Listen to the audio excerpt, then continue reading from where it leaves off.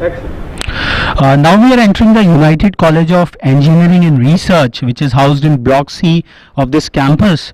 Uh, Ma'am, uh, what all uh, this building houses, what all departments and what all infrastructure facilities this block has?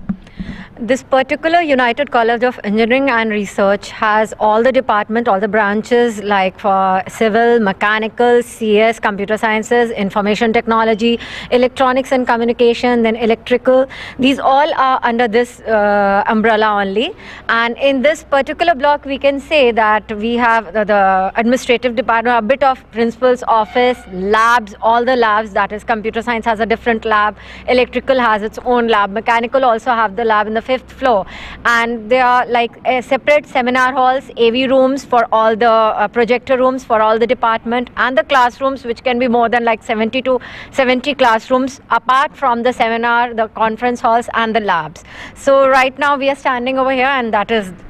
So let's go and have a look at the fabulous, exciting infrastructure within this uh, United College of Engineering and Research, which is housed in Block C of this campus.